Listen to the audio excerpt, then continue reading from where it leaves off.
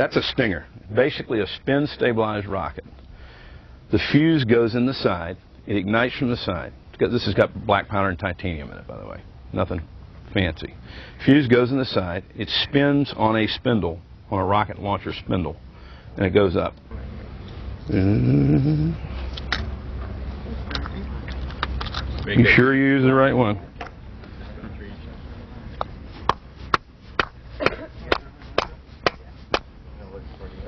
I try to use about the same force every time and about the same number of blows. By the way, you don't have to remember any of this. We have instructions here. If you have access to our website on the internet, you can download them and print them out there as well. But we have copies of everything I'm telling you here.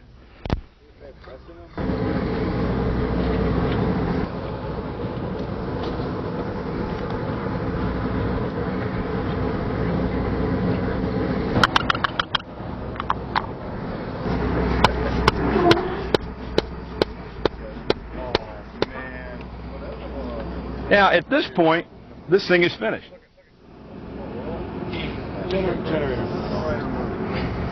Gently turn it. Make sure it's real loose before you start pulling upward on it.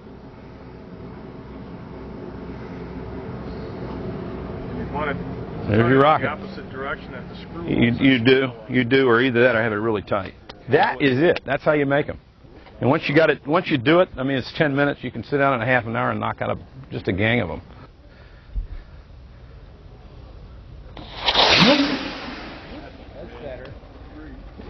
Yeah. It's amazing, isn't it? it's a hell of a rocket.